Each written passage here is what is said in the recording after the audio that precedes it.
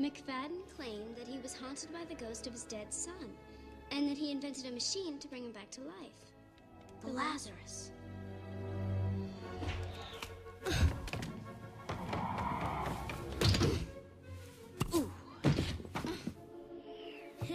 Sorry, I guess we'll have to take the long way. Hurry up, come on!